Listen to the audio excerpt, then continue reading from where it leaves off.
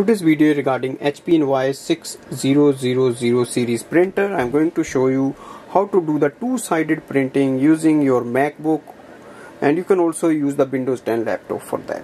Now the first step is to connect your printer with your MacBook and open the document. So open any document you want to print and here you see the printer option or you can go to the file and click on the print. And from the top box select your printer.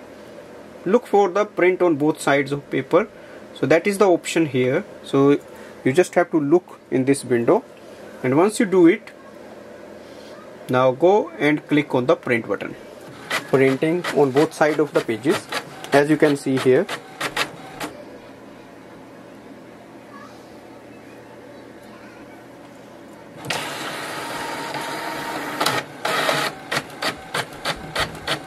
so here we can see it has printed on the both sides of the page.